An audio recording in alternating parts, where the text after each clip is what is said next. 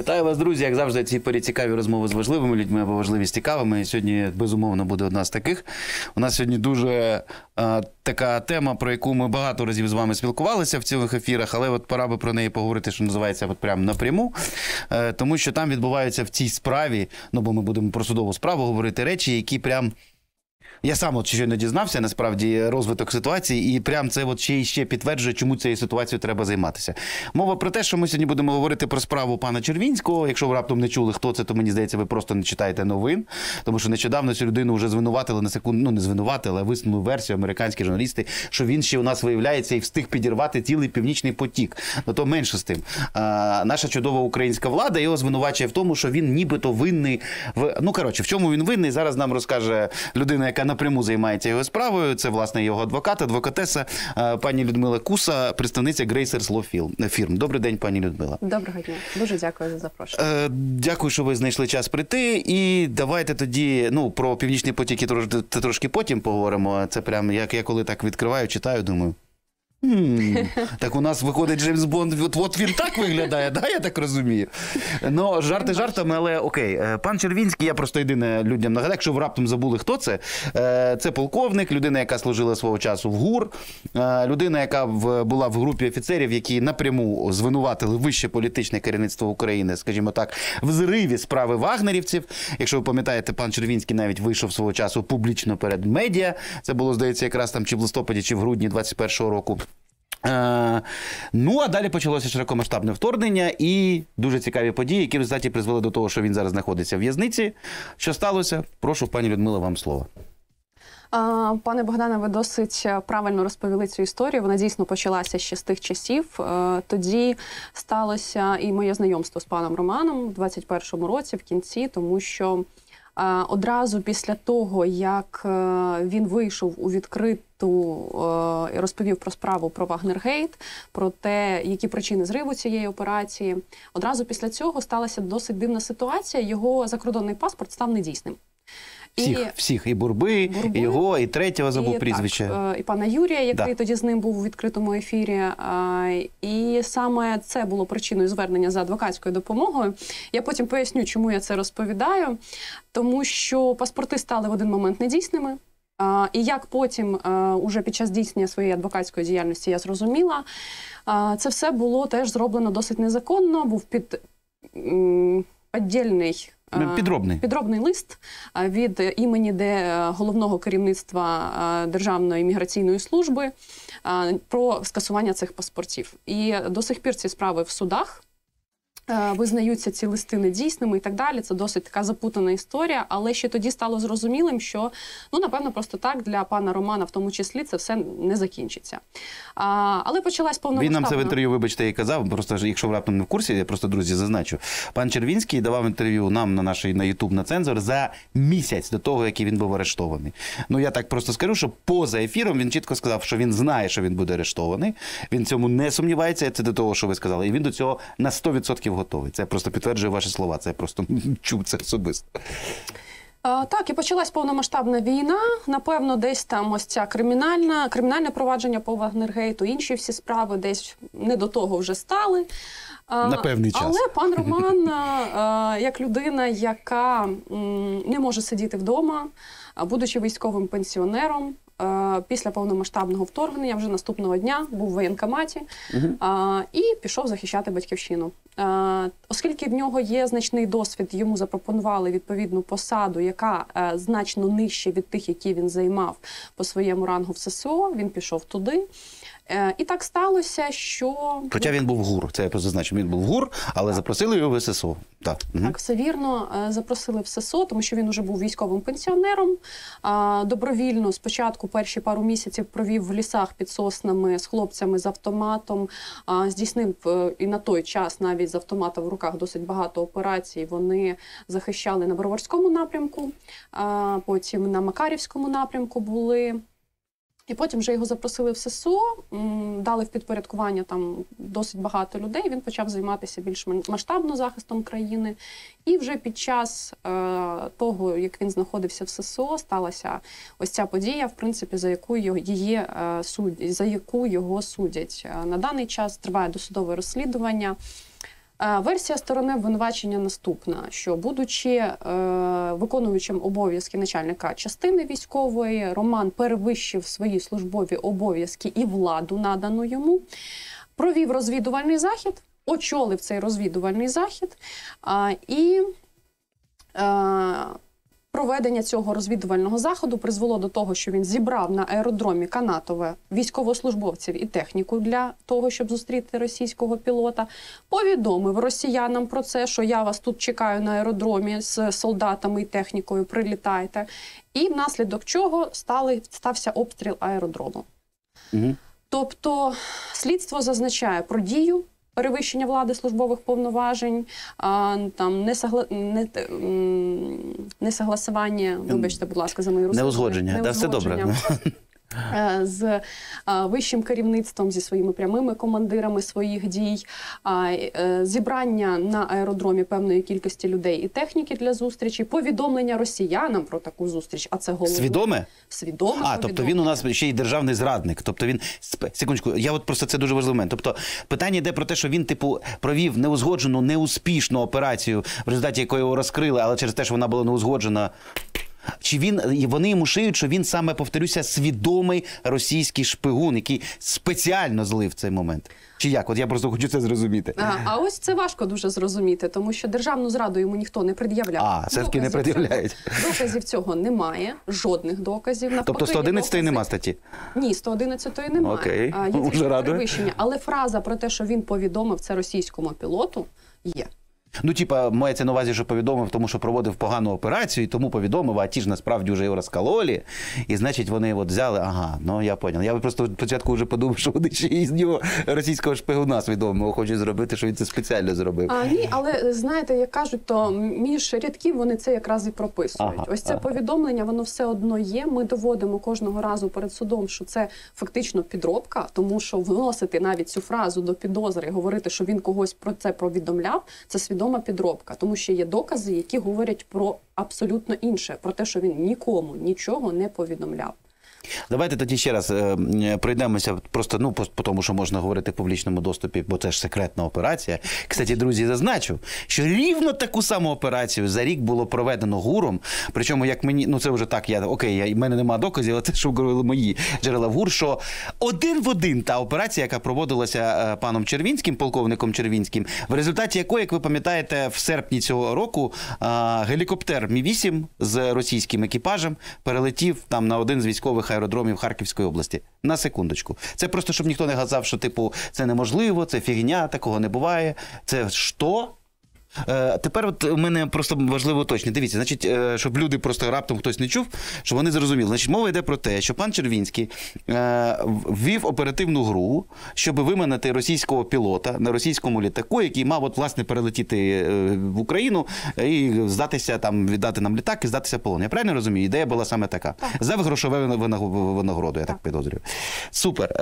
Ще одне питання важливе. Значить, оце найголовніше з приводу неузгодженості і так далі. Він дійсно діяв неузгоджено, чи є якісь докази у слідства, що він там це було самоуправство? Я наскільки пам'ятаю, керівник СБУ пан Малюк розказував, що А. Червінський вісім місяців не з'являвся на службі, і Б, що в нього не було наказів вищестоячого начальства на проведення такої операції. Це правда чи ні? Поясніть, будь ласка. Ну, ці слова пана Малюка ще ставлю, стануть підставою для звернення до ЄСПЧ, тому що в публічній площині говорити про те, що людина винна можна тільки після того, як є вирок, який набрав законної сили. А чи не, чи не в український суд зразу її спече? А, ну, е, українські суди, я не думаю, що нам допоможуть. А тут вони просто повідхиляють, ви маєте на увазі Я в потім. А, впевнена. ну. Судячи по тому, як в нас іде досудове розслідування останні сім місяців, я впевнена, що українським судам це буде нецікаво. Але є стала практика ЄСПЧ, яка говорить про те, що публічні особи на високому рівні, які говорять про те, що людина в чомусь винна, мають нести за це певну відповідальність. Ай-яй-яй, пан Зеленський. Це я про Кулініча, вибачте, ви як юрист маєте, я не знаю, чи ви слідкуєте за цією справою. Там же ж теж був ефект, коли пан президент Зеленський, і, кстати, вже є прецедент того, що ви говорите. Коли пам'ятаєте історію з генералом Наумовим з СБУ? так. І я нагадаю, от якщо хто- хтось не розуміє, про що пані Людмила говорить, пам'ятаєте, коли пан Зеленський вийшов і на всю країну заявив, що він зрадник, тра-та-та. От саме на підставі цих слів. Сербія відмовилася тут же віддавати потім Україні. Саме використовуючи цю практику, що в Європейському суді не можна нікого називати винним без рішення суду. Привіт, друзі. Sorry, просто ви сказали, я і згадав цю історію. Ну ну. Все вірно, так і є. Щодо вищого керівництва, е, знову ж таки, ми можемо говорити про те, що вже є в вільних джерелах е, на е, одному із. В одному із пабліків безпосередній керівник Червінського, Так. пан генерал-майор Ганущак, давав відкрите інтерв'ю, де зазначав, що він погоджував абсолютно все. А Всі документ є? Бумажка.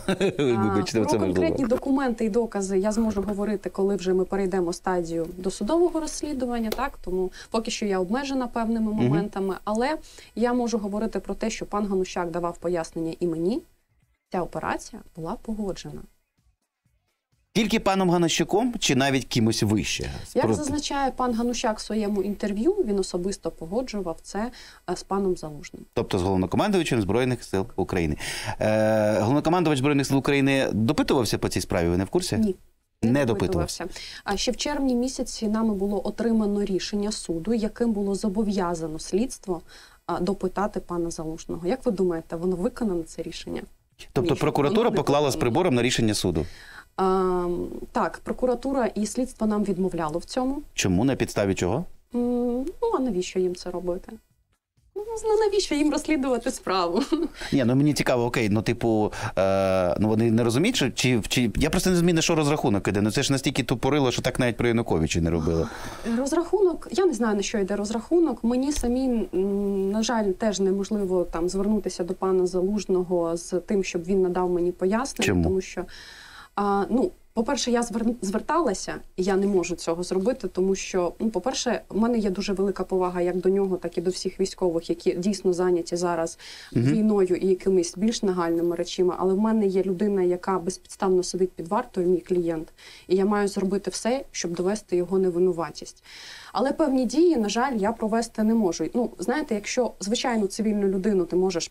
Зателефонувати, Ну, да. дізнатись номер телефону, якось знайти, написати 150 листів їй. Все-таки пан головнокомандуючий він не така доступна особа, яку можна от знайти і попросити. Тому ми пишемо листи, ми звертаємось, ми просимо військових допитатись, опитати. Більшість із них знайти надзвичайно важко, тому що вони виконують дійсно свою безпосередню роботу. Вони захищають нас. Там ті ж повітряні сили, представники повітряних сил. Вище керівництво, яке теж було задіяно в цій операції, так само я зверталася, будь ласка, надайте пояснення, вони відмовляють. І я навіть не розумію, де вони знаходяться в цей момент, але слава Богу, я сплю спокійно, мій дім не не потрапляє ракета, тому що я знаю, що вони цим в даний момент займаються. Але все одно я буду робити все, щоб е, з цими людьми опитати їх, допитати їх в судовому засіданні, і все ж таки, щоб правда була відома широкому загалу, що ця операція була погоджена, що кожен, хто в ній брав участь, робив все, щоб захистити нашу країну. Тому що дістати російський літак і тим самим зламати пілотів морально російських і показати, що це можна зробити, це була ну. Просто шалений успіх би це мало, якби це дійсно все відбулося. Ну це відбулося через рік після того, яка різниця. Тобто взяли цю Ну, наработку. знаєте, я говорила з паном Романом. Він сказав мені, що гелікоптер це і це навіть не половина того літака. Ні, безумовно. літак значив би набагато більше. Ну він би коштував втричі дорожче, це факт. В плані грошей і всього Ну, решта. навіть Це держава знову ж таки, ми повертаємось да, до ось цієї винагороди. Держава на законодавчому рівні визначила 1 квітня 2022 року був прийнятий закон, в якому чітко прописано, що цей закон приймається для того, щоб морально зламати російську сторону. Мгм. За літак ми пропонуємо мільйон доларів, за гелікоптер половину від того, за танк стільки, за БТР стільки і так далі. Тобто на законодавчому рівні підпис президента стоїть, що це важливо і це треба робити, щоб їхня техніка потрапляла до наших рук, до рук ЗСУ, і ми її використовували проти них вже.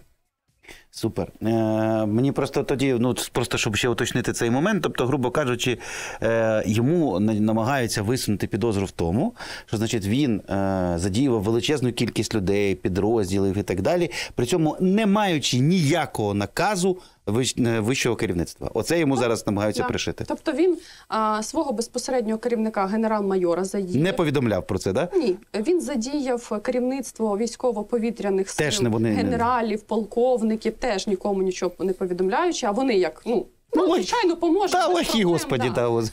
Дійсно. він зібрав купу людей на аеродромі. Хоча е, уже нами зібрано достатньо доказів, які кажуть про те, що аеродром військовий він для того і е, потрібен, щоб там літаки приймати. Тобто- І там є спеціальні люди, їх там не треба збирати. Є людина, яка е, по рації зв'язується, літак е, садить на аеродром. Є людина, яка безпосередньо на аеродромі. Цих людей в загальному треба три людини. Я просто, вибачте, пані Людмило, поясню вам, шановні глядачі, просто на правах людини, яка як волонтер займається цим аеродромом, якраз канатове, розумієте, в чому прикол. Я просто дуже добре знаю, що це за аеродром, що там відбувається. Ми туди дуже багато чого купували і продовжуємо купувати. Просто ну, це аеродром е, часів побудови десь 60-х років минулого століття, який будувався одним з головних е, аеродромів підскоку. Там, в принципі, стратегічні бомбардувальники стояли і так далі. Тобто, ті люди, е, які на повному серйозі можуть записати, що значить розкрив місце аеродрому, і що там можуть бути військові літаки.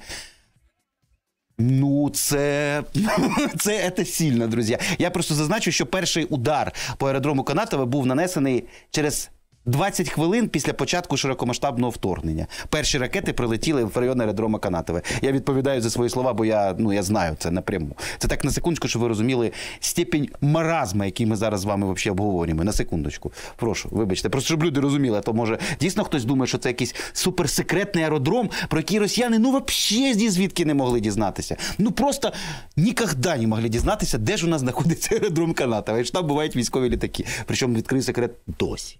Не сподіваюся, це не державна таємниця, чи до мене теж СБУ прийде. Вибачте. А, просто я, я коли це слухаю, у мене на голові просто не лазить. Що, що, аеродром Канатове, правда?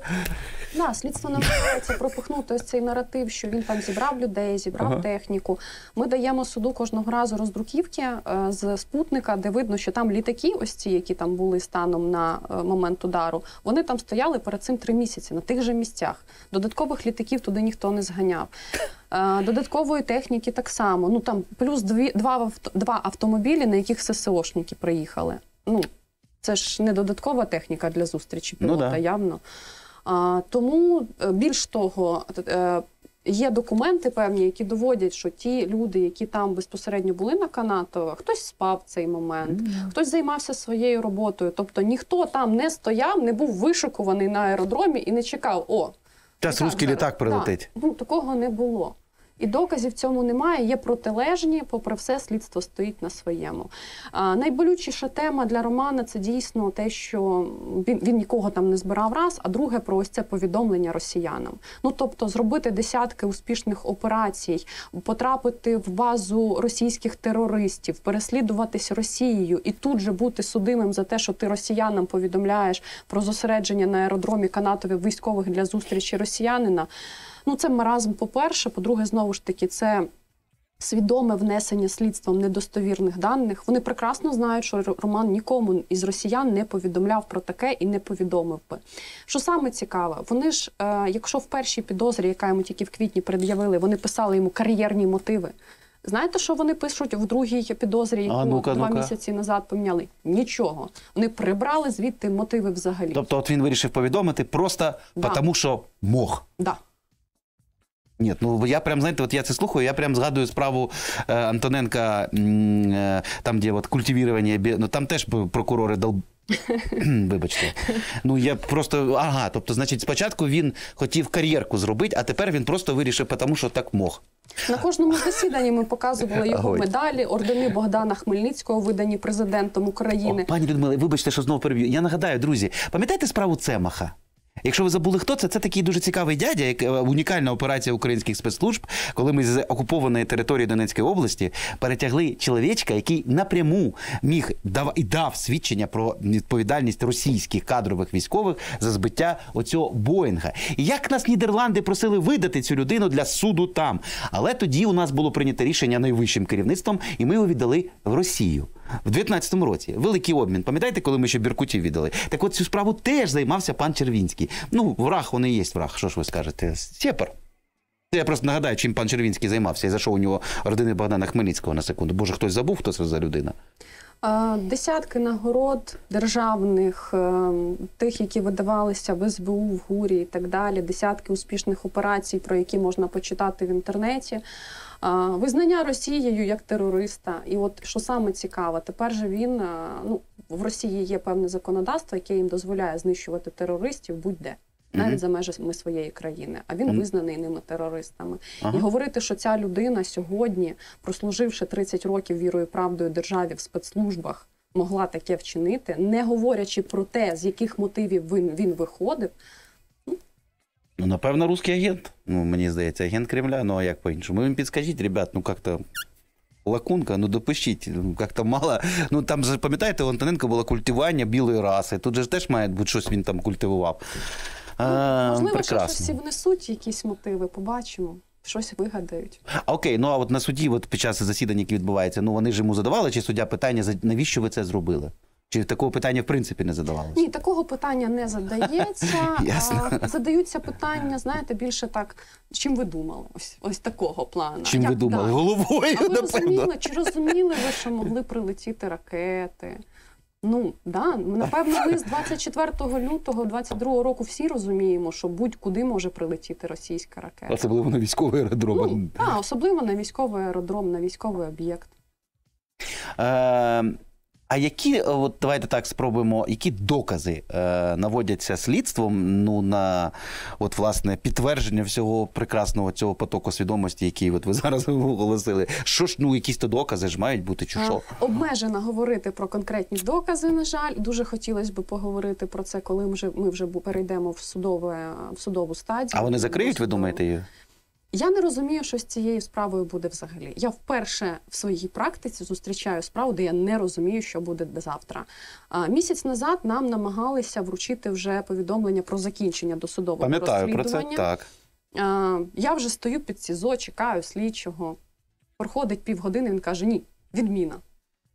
Що сталося, до сих пір не зрозуміло. І, і після цього послідувало знову продовження досудового, знову продовження а, тримання під вартою роману. А, але саме цікаве, що вони це все мотивують тим, що їм там треба провести ще ряд слідчих дій, які не проведені. Справа ведеться з е, серпня місяця 22-го року. А яких, яких? Вони пояснюють, і що там? Допит свідків, ще свідків їм треба допитати. Це яких? А вони не наводять їх, просто свідків треба допитати. Так вони ж мають їх долучати, покази в. Мають. Але не долучають. Огонь. Ні, я йду юрист, вони- але це просто Вони огонь. зазначають про те, що їм одночасно треба допитати осіб, покази яких розходяться. Ага. А, нами направлено про одночасний допит осіб, ну, напевно, клопотань так з 50. Допитайте одночасно Червінського і такого. То Червінського Тобто і очний. Так, да, Очна так звана ставка, да. очна ставка, як Да, вона да. раніше називали. Зараз це одночасний допит називається. Ну, вибачте. І ми, е, ну вибачте, це вже я юридично свою Ні, та ви праві, просто я, бачите, радянських фільмів надивився, тому відповідно це так називає. Ось і саме цікаве, нам відмовляють. Слідчий нам відмовляє, каже, мені не треба їх передопитувати одночасно. Мені здається, що тут немає ніяких суперечностей. Тут же проходить 6 місяців слідства, і слідчий пише в себе в клопотанні. Мені треба провести ряд одночасних допитів, тому треба ще час. А вони міняються слідчі? Це, це один той самий слідчий? Група слідчих. До етапу пред'явлення підозри слідчі мінялися. Ага. Зараз уже є стала група, і сталий слідчий, який є старшим. Там Це хто у нас? Це яке у нас хто вони? Це прокуратура ж, да? Чи там у них там якесь там багато служб, ДБР, нібось там ще це, хтось? це розслідує СБУ. СБУ. Ага. Так, і Генеральна прокуратура, офіс, який займа, займається військовими, е, веде нагляд. А СБУ це хто? Це головне слідче управління чи хто? Це головне слідче управління. І це нонсенс. І тому що е, в справі е, безпосередньо в ось цій операції, про яку ми говоримо, брала участь теж СБУ. Тобто зараз чим займається слідчий? Він допитує своє вище А керівництво. це не конфлікт інтересів, ні? Е, От, А, Це порушення підслідності називається. Це пряме порушення підслідності, тому що коли слідчий допитує своїх керівників, і вони є свідками ключовими, на, на покази яких посилаються потім в справі, ну це ж явно виходить за межі норми. Так, добре. Тепер дивіться, ще один момент хотів уточнити по ходу цієї справи і що з- не з цією всією історією відбувається. А взагалі Червінського, е, ну, якби, що його питають, окрім того, що для для чого ви це зробили? Чи як? От що, які до нього питання є? Що його питають, ну, з того, що можна публічно оголошувати? Що від нього хочуть отримати в суді, які там свідчення і так далі? Як таких свідчень ще від нього ніхто не отримає, бо ми ще ж не на тій стадії. Ми ще а, працюємо з питаннями там продовження строку тримання під вартою. Ну. Він надає свої вільні свідчення, пояснює, що нас насправді відбувалося. А, і у суддів виникають от запитання плану. Як ви це проводили, чому проводили, а як так, а що ви дійсно не погоджували це все. Коли вони чують всі наші докази, до прокурорів виникають запитання. Тобто, Але пане тримання під вартою продовжується, да? але тримання під вартою продовжується. Чесно кажучи, це вперше в моїй практиці, коли в людини є три неповнолітніх дитини, все життя на військовій службі, доходи тільки офіційні, державні, будь-яких інших доходів немає. Пан Роман не може ем, там не можна про нього сказати як про людину, яка там має якісь будинки, автомобілі. Ні, в нього такого немає. Квартира одна, троє дітей, дружина з інвалідністю, мама на утриманні. І цей весь набір, от в будь-якій звичайній справі, дає можливість знаходитись під домашнім цілодобовим арештом, тому що дружині з дітьми допомагати треба, як мінімум, але не в справі Романа Червінського.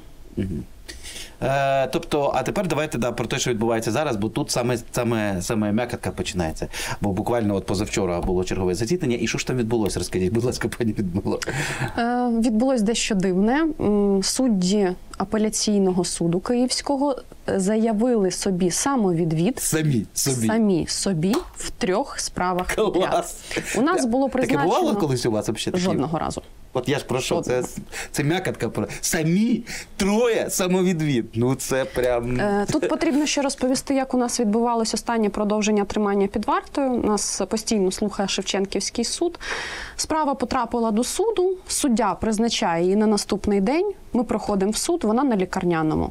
Справу віддають на автоматизований розподіл іншому судді. Потрапляє на суддю наступну, вона йде в відпустку через годину. Крім неї, йде в відпустку ще одна суддя, яка перед цим продовжувала сроки Роману Червінському без адвокатів. Ну там був такий випадок. Ми ще також цією ухвалою там бігаємо і оскаржуємо в суд. Але а, тобто. Щоб ви розуміли, вже три судді: одна лікарняний, дві зразу в відпустку в той же день, аж на цілих два дні у відпустку. І залишається в системі п'ять суддів, готових слухати і виносити рішення. Так. І, звичайно, сроки були продовжені, застава знову не визначена. З цим всім ми йдемо в апеляцію на оскарження. В нас підряд призначено було 20 числа три апеляційних скарги. На ухвалу, де Роману продовжили срок тримання без нашої участі, без участі захисників, залучивши безоплатного. На ухвалу, якою нам якою да, відмовили нам скасування підозри, і на останню ухвалу про продовження сроків тримання під вартою до грудня місяця. По всім трьом справам одна трійка суддів визначена. В апеляції була, і вони по всім трьом взяли самі самовідвід. А, мотивували це бангалорськими принципами правосуддя. What Е, does it mean? Прошу. Тут уже... Це певні такі, е, такий звіт правил, е, який говорить про те, як суддя себе має поводити. Бангалорський. Так, так. Цікаво. А, і вони це все мотивували тим, що у стороннього спостерігача є думка про те, що вони можуть бути упередженими, тому вони саме відводяться. Ось так. Йохане бабай, от, ну це прям цікаво. І що далі? Одна із цих справ, е, там, де Роману продовжено срок тримання до грудня, уже передана іншому складу суду. Засідання призначено на 7 грудня. 16-го в нього закінчуються сроки тримання під вартою, тільки 7-го ми зможемо їх оскаржити. Хоча апеляцію ми ж подаємо на наступний день після тримання під вартою. От там 19 жовтня я подала апеляцію, 7 грудня, дай Бог, ми її нарешті розглянемо. Він е, в СІЗО сидить уже з квітня місяця, вважаєте? З 25 квітня цього року. Тобто вже півроку вважаєте. Так, вже 7 місяців навіть. Е, да, до речі, що- йому ш'ють максимально, тобто які, що, що, що хоче прокуратура в плані, ну, понятно, ще не висуна, не висунута е, це, господи, обвинувачення, але Е, Так, ще, ще не зрозуміли. Ну там до 12 років, якщо я не помиляюся, позбавлення волі за цією статтею. Це перевищення службових там обов'язків, Перевищення там, та, військовою службовою особою, службовою е, які службов- призвели до Так. особливо тяжких наслідків. Так, так, ага, я так. поняла, зрозумів. Е, так, ну а тепер давайте спробуємо перейти в розряд е, оціночних суджень, бо без них ніяк, мені здається. Ви ж спеціально бачите, трошки юриспруденції вам виклали, так, щоб ви просто розуміли, як феєрично ця справа рухається. Е, окей, е, тоді давайте спробуємо так. Чому так все відбувається? Ваша версія, я би так сказав. Ем, З паном Романом це все відбувається, тому що він не побоявся в свій час заявити про те, хто зірвав справу вагнерівців. От і все. Це політична справа, це видно по судовим засіданням, це видно по тому, як ведуть себе судді, як вони вели себе раніше, як продовжують вести себе зараз.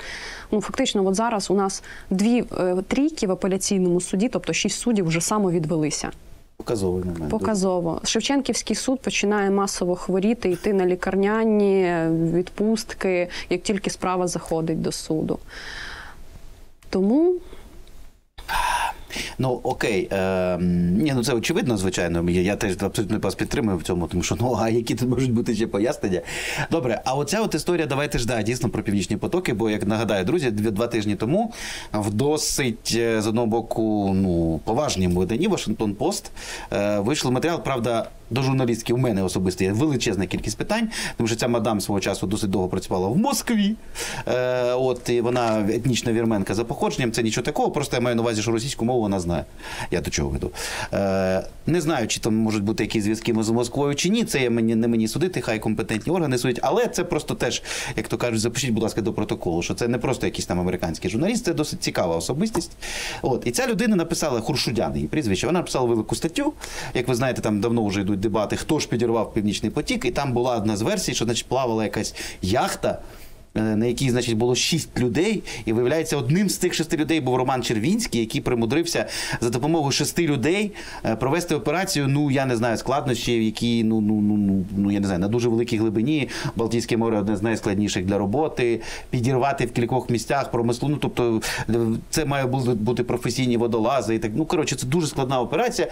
І от пані Хуршудян видає, що значить якесь неназване джерело в держдепі розказало, що всім цим керував Роман Червінський, йому особисто наказ давав залужний, а президент Зеленський про це не знав. Як вам ця версія, що про це каже пан Червінський? А, Пан Роман заперечує свою участь в цій операції, зазначає про те, що він не брав в цьому участі. Версій щодо того, хто саме намагається цю інформацію ось так проти нього перевернути, багато. Е, Це може бути цікаво Росії, яка всіляко хоче звинуватити в цьому всьому українців, назвати їх терористами. Загнати клин між Зеленським і Залужним, опять же, черговий раз, до речі. Тому а, він заперечує. Це все, що я можу сказати. Неодноразово була ця розмова, тому що різні американські журналісти намагалися це з'ясувати під різними якось там приводами. А до вас зверталася ця Хуршудян? А до мене ні. А як вона до мене ну, особисто тобто, не зверталася. тобто, а так як вони? Вони на Червінського виходили якось? Вони просили про коментарі його чи ні взагалі? Наскільки мені відомо, то ні. Цікаво. От це, звісно, цікаво. Я думав, що тільки у нас пишуть, знаєте, в телеграм-помийках, там, типу, як сказала, не назване джерело, ля-ля-ля-ля-ля. Тепер Вашингтон по собі може дозволити такі матеріали. Ну, е, окей, ну я не буду вас питати, наскільки це технічно можливо і так далі. Ем, Ну, е, ну коротше, ніяких подробиць він про це не говорив. Просто заперечує ні, не він точно і все без варіантів. Я зрозумів. Окей, а він не говорив, ну, наприклад, а чи не може бути це спробою там, не знаю, офісу президента накинути на дуже нелюбиму їм людину? Він такого не говорив? нічого? Цілком можливо. Цілком можливо. Насправді йому зараз досить складно якусь інформацію ну повідомити, тому що він обмежений в інформації цілком і повністю. Треба розуміти, що він сім місяців в одиночній камері знаходиться, і всю інформацію так в одиночній камері. А він в слідчому ізоляторі СБУ чи Так. в не на Лук'янівці? Вже хорошо. І е, сприйняття інформації в, в такому середовищі воно досить обмежене. Тому версій, звичайно, багато, але зрозуміти, що це було, я думаю, що ми зможемо з перебігом якогось певного часу. Хто це був, у зв'язку з чим це було і так далі. Добре, тоді питання таке ще. А до речі, там же ж були історії з його здоров'ям. Які умови його утримання? Чи там допускають до нього лікаря, який в нього режим і так далі? Як А, Щодо умов отримання, в цілкому вони в цілому вони задовільні, але погіршення здоров'я пішло десь місяць тому. А, До суду навіть викликали йому швидку допомогу. Зараз намагаємося зробити все, щоб його обслідувала незалежна клініка, тому що в госпіталі СБУ немає певних спеціалістів, які можуть надати йому відповідну кваліфіковану допомогу, обслідувати його повністю. Працюємо над тим, щоб йому надавали медичну допомогу в інших закладах. Просимо слідство це зробити. Але воно не погоджується. А, ну, попередньо в, в режимі усному вони сказали, що да, звичайно, ми це зробимо. Поки що письмових підтверджень, що дійсно вони готові його кудись вивозити за межі СБУ, я не отримала. А скільки йому років нагадайте, будь ласка? А, він 74-го року народження. Тобто йому 49 років. Так. Я зрозумів. Ну, тобто, людини вже, в принципі, цілком можуть бути певні проблеми зі здоров'ям, я би сказав. Да. А умови отримання я маю на увазі, чи в нього суворий режим, чи що йому можна, книжки, там ще щось там і так А, він дуже багато читає, дуже багато читає, постійно щось читає, постійно розказує, що він прочитав. А, телевізор є, але там обмежені певні канали. Прямий, Наприклад, ось, прям ось цей е, прямий ефір, чи як воно називається, вибачте, я не знаю, там де марафон. Марафон А, єдиний телемарафон. Да, ось це, да. так? А, і здається, все там небагато варіантів з того, Ні, ну, що можна вже хоч щось. Ну, малесенький там можна дозволено в камері. Телефон ні, не можна. Телефон не можна, інтернет не можна. Більш того, вам скажу, навіть коли в судових засіданнях мені треба щось йому показати, якийсь документ з ноутбуку. Ну я ж не можу носити з собою все. А конвой заперечує: ні, в ноутбук не маєш права дивитися. Ну я не розумію взагалі, як це. Ну типу, у нас інструкція ні, не можна. В телефоні щось показує так само, ні, не можна. От- Отакі інструкції ви А що, що він там, я не знаю, секретні Я не знаю, чесно вам скажу. Я Чи може ви йому капсулу з цеїном передасте там якимось воздушно-капельним путем, чи як? напевно, напевно, А конвой у нього СБУшний. Тобто його СБУ стереже. звичайно. Це навіть не там е, не звичайно. СБУ проводило операцію, допомагало, не допомагало, точніше, взагалі саме почало проводити операцію по вербовці російського пілота, переміщення його на територію України. Залучила туди Романа Червінського. СБУ розслідує справу. Тримається він в слідчому ізоляторі СБУ. СБУ його конвоює. Якось так. Все по закончику, нормально, все роботи. Ніякого конфлікту інтересів на, на жодних етапах. Е, До речі, е, окей, а ну от в ідеальному світі хто б таку справу мав би розслідувати з вашої точки? Державне бюро розслідувань. 400... Може, вже краще СБУ? Ну, е, є пряма норма кримінально-процесуального кодексу, що справи проти військових, зокрема, ось ця стаття 426 прим. 1, вона розслідується ДБРом. Ми три рази звертались до прокурора. Змініть підслідність. Ви не маєте права це розслідувати в СБУ. А що вони кажуть? Там дуже така цікава історія. Я про неї говорила. Це було відкрите судове засідання. Я вважаю, що я маю право про це говорити. Це не є таємницею до судового розслідування. Будьте що- обережні, то вони наче падуть, скажуть, що ви розголосили таємницю. На підставі Ні, цього вас треба відсторонити від справи, а ще адвокатську ліцензію забрати. Е, Справа була передана в ДБР. Угу. Ще до того, як була в ній підозра для Романа, ще на етапі того там не було підозрюваних, от фактова справа. І її прокурор за належністю передає в ДБР. Пише, що ні, СБУ не має права її розслідувати. Це ДБРівська підслідність. Але заступник генерального прокурора е, через два тижні після цього рішення е, написав, що ДБР неналежним чином здійснює і передав назад в СБУ. Два тижні дали ДБРу для того, щоб здійснювати досудове розслідування. А у вас є версія взагалі, хто курує цю справу? Тобто, ну хто людина, яка реально її веде? Не ці от попки дураки, які там бігають в якості слідчих, а ті, хто реально Ці версії є у Романа, він їх висуває. Я до, до цього не маю якогось стосунку. Я цих версій не маю. Йому це відомо там більш якось. Ну, я, я, він, він, він, все він все життя в СБУ пропрацював. Да, він їх дійсно всіх знає. Тому це можна почути від нього. Я думаю, що якісь інтерв'ю його будуть. Він цих людей назве. А йому інтерв'ю дозволено давати? Ну, я маю на увазі не в суді, там, ей, там, пане Романе, що ви скажете? Я маю на увазі реальне Та не інтерв'ю. заборонено, так, звичайно. Тобто можна подати запит і через вас піти з, з вами в СІЗО і взяти у нього інтерв'ю. Так. Друзі, ми це зробимо обов'язково. І слідчі нічого не мають проти, вони не забороняють цю історію. Ні. Тобто в ноутбук дивитися нельзя, а журналістам зустрітися можна. Серйозно? Ні, я просто реально логіки не розумію. Я ж там можу щось ну, і понятно, що мене обшукають, але може я йому щось страшне повідомлю і так Ні, далі. ну ні? слідчий може надати вам дозвіл на те, щоб зайти, може не надати такого От, власне. дозволу, щоб зайти, але письмово спілкуватись з Романом. Ну е, а грубо письмово, кажучи, ну, особисто, звісно, писа- писати йому листи ви ж можете. Ну, звичайно. Тому він вам А може особисто відповідати. навіть при вашій дослідженні ні, звичайно, не дозволить. А, Це все має дозволяти слідчий. Ну, він не дозволить, це очевидно. Немає в цьому жодних сумнів. Добре, і е, окей. Е, Давайте я розумію, ви вже говорили, що ви такого справи ніколи не було ще. Ну давайте хоч спробуємо уявити, що далі може відбуватися, якісь певні сценарії, там А, Б, С, там трошки Е, спрогнозуємо. Ви знаєте, знову ж таки, я повернусь до тієї справи, про яку ви часто говорите. Це Антоненко Кузьменко. Вона, вона да? триває. Вона триває, але Да. як вона триває? Давайте про це поговоримо. Ну, вони Спочатку переносяться. От це класика українського правосуддя Да. в таких справах. Людей затримують. Дуже все звучить, дуже голосно. Обвинувачення каже: винні, 100% винні, покидьки, негідники. Захист каже: почекайте, дивіться, ось. Ось доказ, ось доказ, не винні. Такого не може бути. Проходить певна кількість часу, в когось це півроку, в когось рік, в когось півтора-два. Цих людей відпускають спочатку на домашній арешт. Проходить півроку, відпускають на особисте зобов'язання, да? підписка по- про невиїзд по-старому. Справу заносять в суд. Визначають якогось нещасненького прокурора, який ходить туди роками, або їх там 10 міняється постійно, якогось нещасного суддю, який це все сидить, отак от слухає. От саме в такій позі. Да, да. От саме в такій позі, так? І справа триває роками. Постійно переноситься, бо не з'являються свідки, хворіє хтось, Прокурор прокурор. по колу так Да, слідчий. І справа залишається цікава тільки тій людині, яку обвинувачують, і її адвокатам. Це класика українського правосуддя. І років через 10, коли медійно вже це нікому не цікаво, виноситься виправдувальний вирок.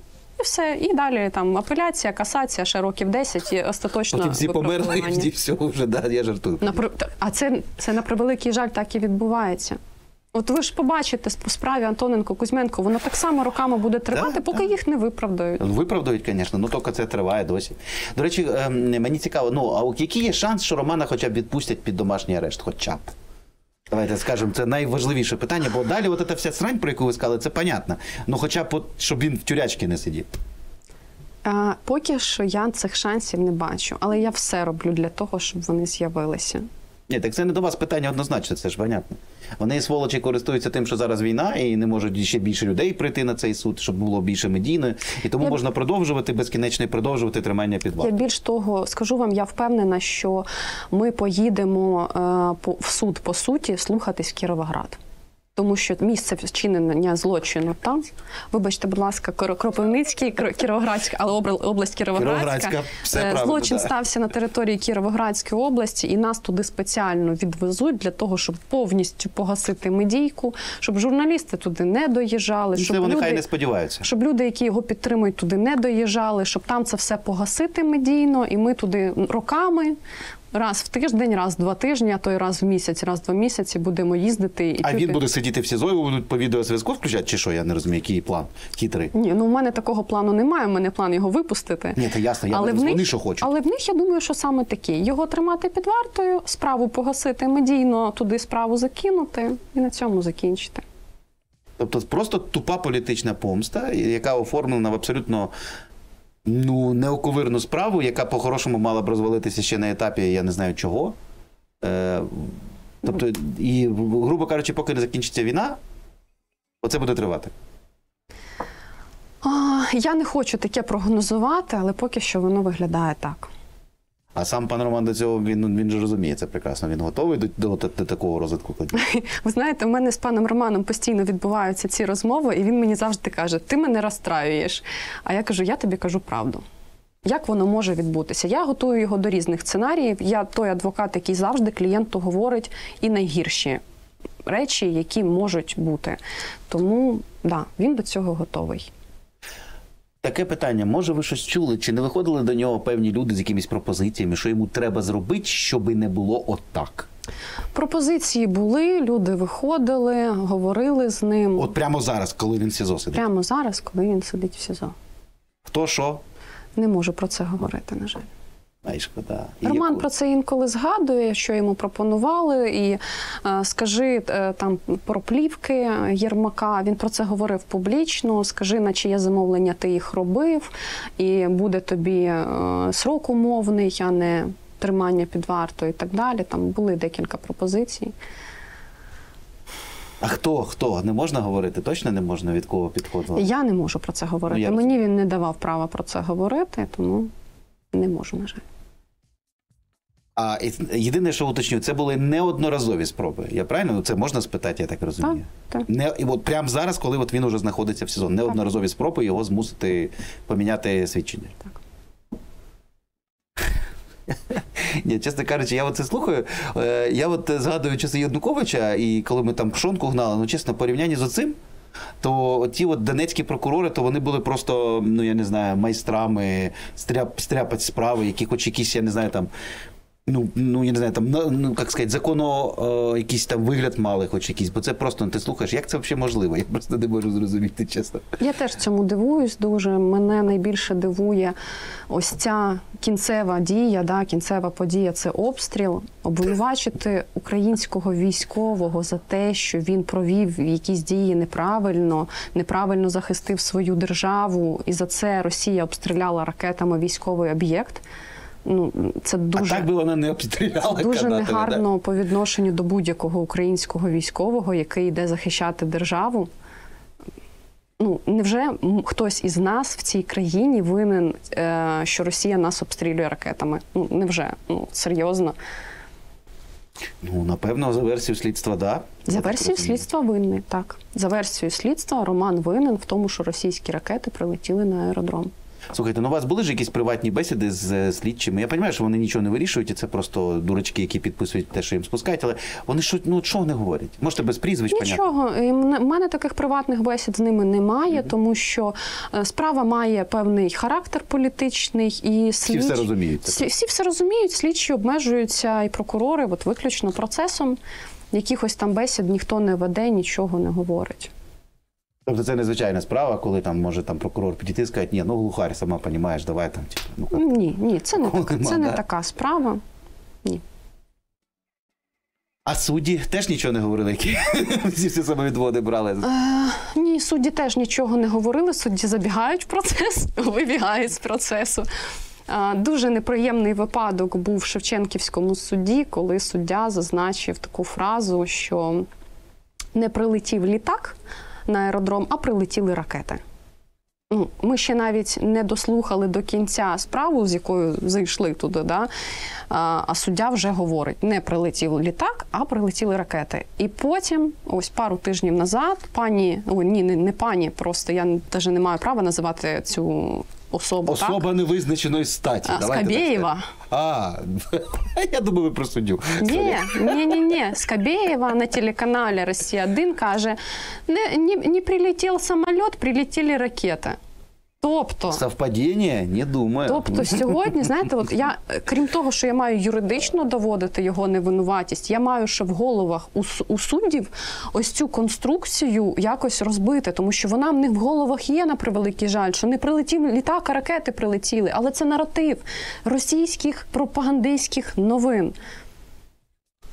Цікаво, хто ж їм подарував цей наратив. Оце прям дуже цікаво. От прям це цікавий факт. Ну я не знаю, може це, звісно, співпадіння, але співпадіння такі прям слабко віриться.